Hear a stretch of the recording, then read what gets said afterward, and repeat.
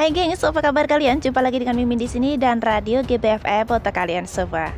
Gengs, ada yang lucu kali ini ya. Udah biasa dong kalau kalian melihat Sony Ernata berteriak-teriak menggebu-gebu dalam tausiahnya.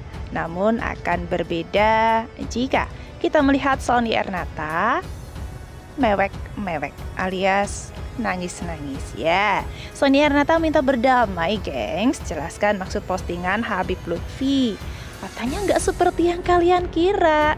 Penasaran dong? Yuk kita simak informasinya berikut ini. Geng Sony Ernata atau yang dikenal dengan Ustadz Maher At-Tuwalibi meminta berdamai dengan orang yang melaporkannya ke polisi. Waluyo Wasis Nugroho. Ia mengajukan upaya berdamai itu sebelum mengajukan gugatan pra peradilan atas kasus yang menjeratnya lantaran dituding menghina Kiai Nahdlatul Ulama Habib Lutfi bin Yahya. Ini postingan di akun, uh, akun Twitternya yang bersangkutan ya. Oke, cukup ya? Cukup.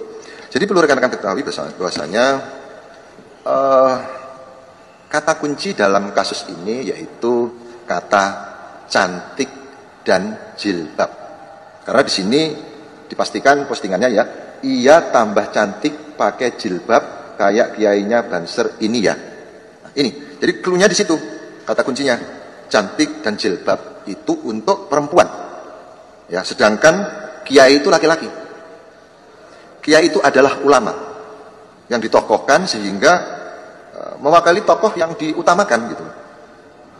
Kita tahu sendiri bahwasanya ulama itu yang diutamakan di agama Islam.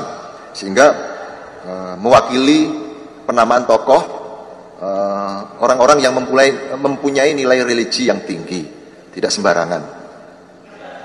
Sehingga uh, ada beberapa orang yang melaporkan hal tersebut, khususnya dari rekan-rekan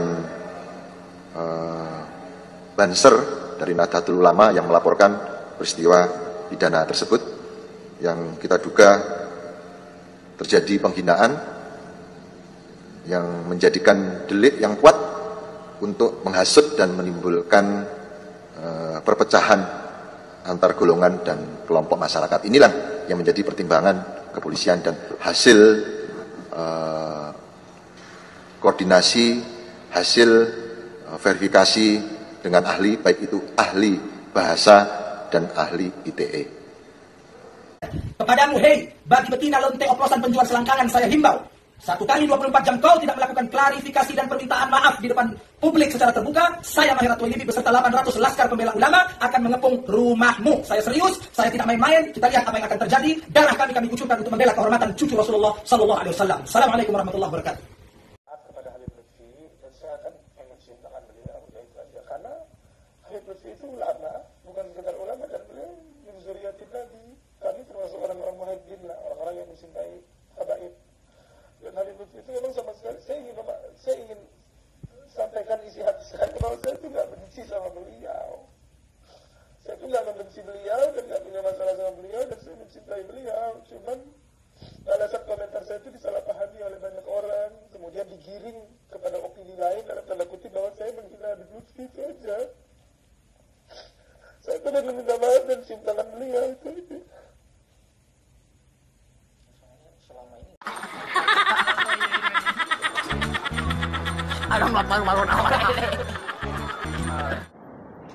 Oke gengs, yuk di next informasi sekali kita doakan kepada Ustadz Maher. Mudah-mudahan kuat ya Ustadz Maher harus siap-siap menjalani proses hukum yang ditimpakan ya gitu. Jadi harus berani bertanggung jawab atas apa yang diucapkan ataupun dituliskan.